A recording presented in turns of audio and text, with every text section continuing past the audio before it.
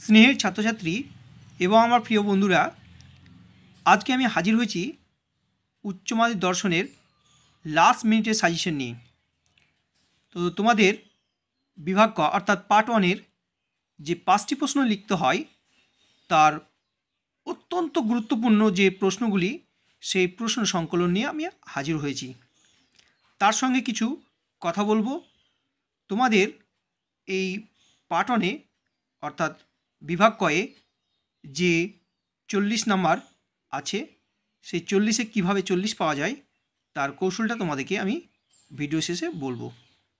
তো তোমরা দেখতে পাচ্ছ যে আমি বিভাগ কয়ের প্রশ্ন নিয়ে আলোচনা করব। তো তোমরা জানো যে দর্শনে আট নম্বরে যে প্রশ্ন হয়, সেটা পাঁচটি লিখতে হয়। তার মধ্যে অবরোহ থেকে তিনটি লিখতে হয় আর আরোহ থেকে দুটি লিখতে হয়। তো তোমরা প্রশ্ন দেখতে পাচ্ছ। এবার আমি শুরু করি তোমাদের গুরুত্বপূর্ণ প্রশ্নগুলি নিয়ে। তাহলে তোমরা দেখতে পাচ্ছ যে আমি বিভাগ কয়ের গুরুত্বপূর্ণ প্রশ্নের সংকলন নিয়ে আলোচনা করব। তো দেখো, তোমাদের প্রথমে লেখা আছে প্রশ্নতে, নিম্নলিখিত প্রশ্নগুলির উত্তর দাও।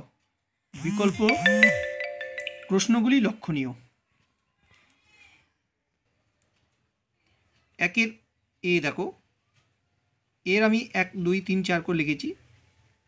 তো এক, একের এর যে গুরুত্বপূর্ণ প্রশ্ন, তোমাদের পরীক্ষাতে এভাবে প্রশ্ন দেওয়া থাকবে, A, B, C, D, E, এই পাঁচটা প্রশ্ন। পাঁচটা প্রশ্ন এভাবে দেওয়া থাকবে, A, B, C, D, E. তো দেখো, তোমরা দেখতে পাচ্ছ যে এক নম্বরে আছে, বচন বলতে কি বোঝো? বচন ও বাক্যের মধ্যে পার্থক্য আলোচনা করো। তার সঙ্গে আছে, নিরপেক্ষ বচনে পদের ব্যাপ্যতা বলতে কি বোঝো? এই ছিল প্রথম প্রশ্ন। দেখো ট্রিপল স্টার দেওয়া আছে। এই প্রশ্নটি অত্যন্ত গুরুত্বপূর্ণ, তাই ট্রিপল স্টার দেওয়া আছে। তারপরে দুই নম্বর দেখো, নিরপেক্ষ বচনের গুণ বলতে কি বোঝো?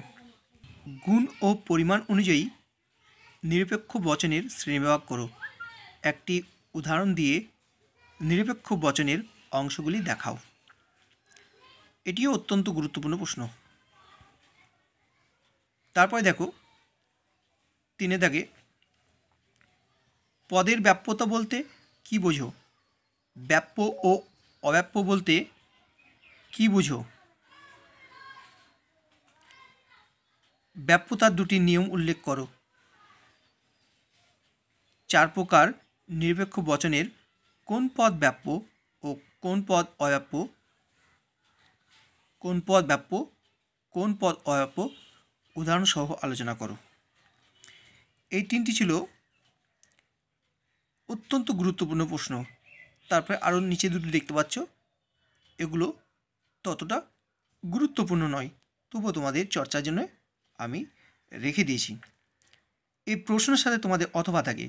পরীক্ষাতে এই এর সঙ্গে একটা অথবা থাকে। কি থাকে? নিচে দেখো। প্রশ্নটা যেরকম দেখতে পাচ্ছ, ঠিক সেই রকমই থাকে।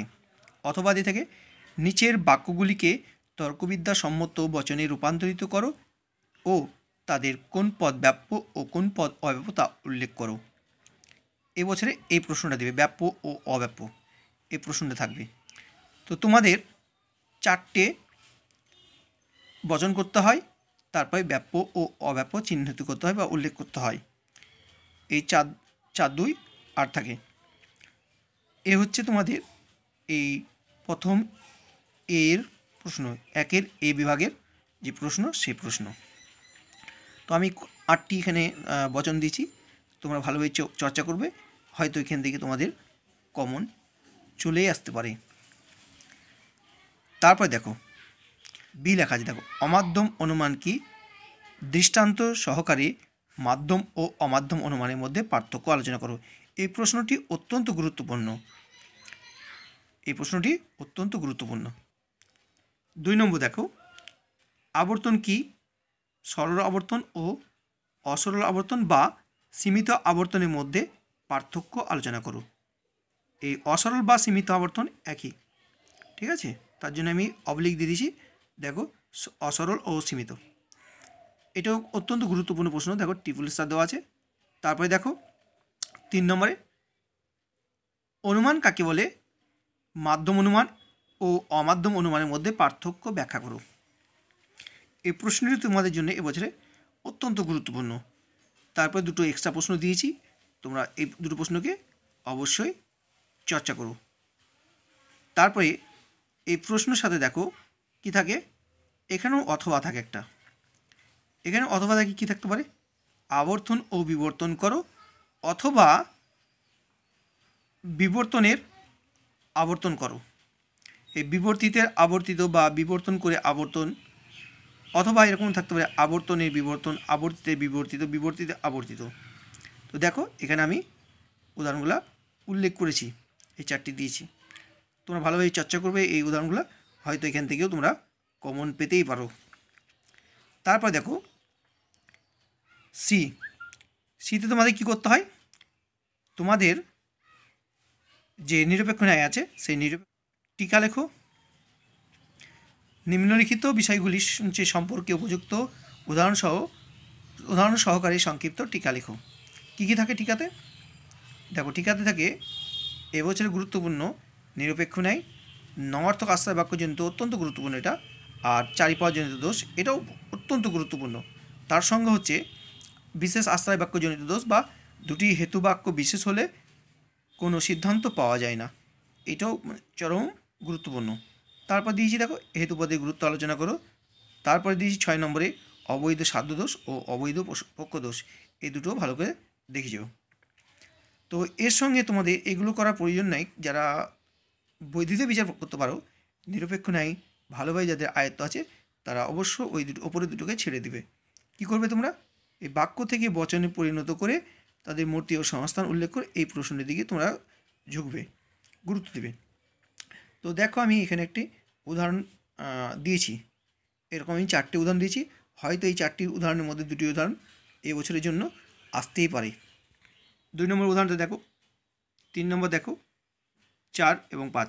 এই চার, পাঁচটি উদাহরণ আমি তোমাদের সামনে প্রেজেন্ট করেছি। তোমরা প্রতিনিয়ত তোমরা অভ্যাস করবে এবং হয়তো কমনই পেয়ে যেতে পারো। এটা আমার দৃঢ় বিশ্বাস। তো তোমরা দেখে নিয়েছো, আমি আর মুখে বলছি না, তোমরা ভালোভাবে দেখে নাও।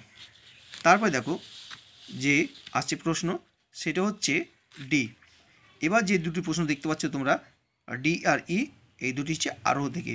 এখান থেকে তোমাদের দুটি প্রশ্ন করতে হয়। তার মধ্যে আমি যে প্রথমে দেখো ডি এর দুটি প্রশ্ন দিয়েছি, এব- এবছরের জন্য দুটি হান্ড্রেড পার্সেন্ট কমন পড়বে এবং তোমাদেরকে যে কোনো একটি লিখতে হবে। তো এখানে আমি কিছু কথা বলিনি। দেখো, আমি প্রথমে দিয়েছি মিলের ব্যতিরিকী পদ্ধতি। আলোচনা করো। পদ্ধতি বানানটা এখানে ভুল হয়েছে মিস্টেক হয়েছে আমাদের। ঠিক আছে? তো তোমরা কিছু মনে করো না। ব্যতিরিকী পদ্ধতি আলোচনা করো। তো এখানে সংজ্ঞা আকার, দৃষ্টান্ত, সুবিধা দুটি, অসুবিধা দুটি। এর মানটাও দেখতে পাচ্ছ, তোমরা পাশে দেওয়া আছে। তারপর একটা উদাহরণ দিয়েছি। তো তোমাদের সরাসরি এবার আসবে মিলের মিলের ব্যতিরিকী পদ্ধতি। এটা সরাসরি আসবে। আর তোমাদের আসবে যেটা সহপরিবর্তন পদ্ধতি, সেটা আসবে দৃষ্টান্ত দিয়ে। তার জন্য আমি দুটোকেই প্রয়োগ করেছি। তোমাদের সুবিধার জন্য তোমরা সহজেই যেন বুঝতে পারো। ঠিক আছে? তো তোমাদের সরাসরি কখনোই দুটো প্রশ্ন একসাথে আসে না। যে মিলের ব্যতিরিকী পদ্ধতি আলোচনা করো বা সহপরিবর্তন পদ্ধতি আলোচনা করো, এই দুটো সরাসরি দেয় না। এই দুটোকে কী করে দেয়? একটি সরাসরি দেয়, একটি উদাহরণ দিয়ে দেয়। তোমাদেরকে বুদ্ধি করে উত্তরগুলো লেখার চেষ্টা করতে হবে। এই হচ্ছে তোমাদের ডি এর প্রশ্ন। এবার দেখো ইয়ের ইয়ের প্রশ্ন দুটো টাইপ থাকে। একটা উদাহরণ দিয়ে দেয়, দিয়ে দোষ বিচার করতে হয়, আর আরটি দেয় মানে তোমাদের অথবা দেয়, তোমাদের দুটি টিকা দেয়।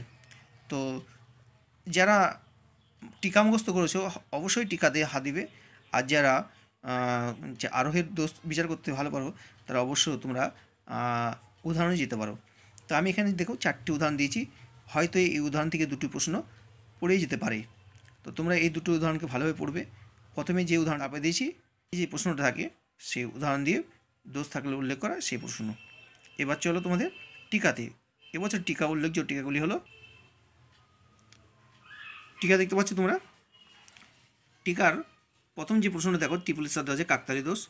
তারপর দুই নম্বরে দেওয়া- আছে দেখো, অবৈধ সামানিকন দোষ।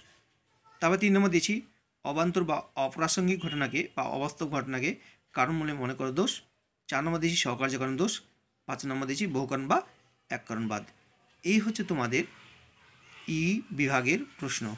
তো তোমরা যারা টিকা মুখস্থ করেছ, এই ছটি বা পাঁচটি টিকাকে অত্যন্ত গুরুত্বের আহ, প্রশ্ন এই প্রশ্নগুলিকে চর্চা করবে এবং মুখস্থ রাখবে যাতে পরীক্ষা হলে কনফিডেন্টলি তোমরা লিখতে পারো। এই ছিল আজকের আমার লাস্ট মিনিট সাজেশনের আলোচনা। যদি ভালো লাগে তবে অবশ্যই বন্ধুদের মধ্যে শেয়ার করবে কমেন্ট করে জানিও এবং অপেক্ষা করব তোমাদের তোমাদের কমেন্টের অপেক্ষা করব। যদি তোমরা কমেন্ট করো তাহলে আবার পরবর্তী আমি অন্য অন্য বিষয় নিয়ে আলোচনা করব। তোমাদের এই কমেন্ট লাইক এগুলো হচ্ছে একটা উৎসাহের মাধ্যম। তো তোমরা আমার এই প্রচেষ্টাকে যদি দীর্ঘায়ু করতে চাও, তাহলে অবশ্যই কমেন্ট লাইক করে আমার এই চ্যানেলটিকে দীর্ঘায়ু করো। আমার চ্যানেলটির নাম বলতেও ভুলে যাই।